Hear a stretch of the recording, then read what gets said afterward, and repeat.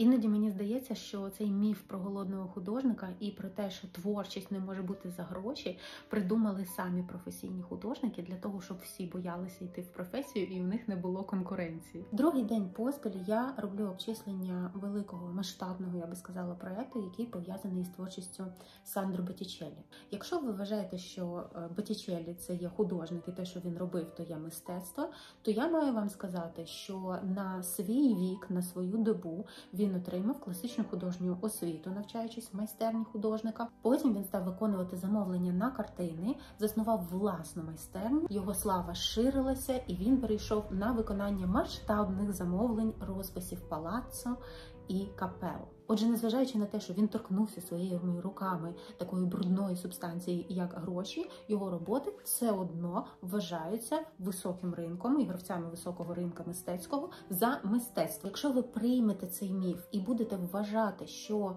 е, класична освіта, залежність від замовника, замовлень і грошей є пасткою для вашої творчості. То хтось інший навчиться, хтось інший буде профі, хтось інший буде робити масштабні проекти на величезні бюджети, і хтось інший матиме більше можливостей потрапити в музей і бути визнаним.